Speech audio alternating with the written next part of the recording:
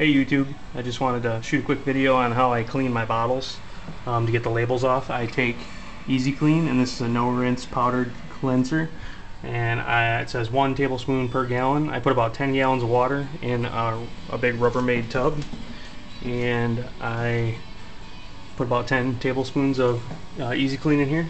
I let them soak for about five, six hours or overnight or whatever you want to do. And then the labels will actually, I'll show you, they just peel right off like nothing and it actually cleans the bottles for you at the same time.